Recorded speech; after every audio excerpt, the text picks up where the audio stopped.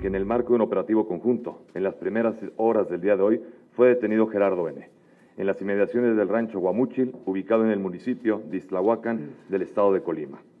Dicho individuo es probable autor intelectual del asesinato del exgobernador Jesús Silverio Cavazo Ceballos. Las investigaciones en su contra arrojan también su probable participación como líder de una organización delictiva con presencia en dicho estado y la presunta conformación de grupos armados, conocidos como autodefensas, en Michoacán, con operación en los municipios de Coalcoman, Felipe Carrillo Puerto y Aguililla.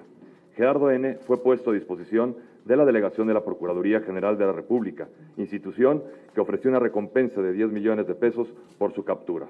Es importante destacar que por las características propias del operativo no fue necesario el uso de armas de fuego. Al detenido le fue leída la cartilla de derechos que asisten a las personas en detención y en todo momento se respetaron sus garantías. Las investigaciones realizadas por el Gabinete de Seguridad arrojan, además que contaba con diversas órdenes de aprehensión vigentes, Gerardo N. es uno de los probables traficantes de droga sintética, marihuana y cocaína en los estados de Colima, misma que es enviada directamente a los Estados Unidos de América.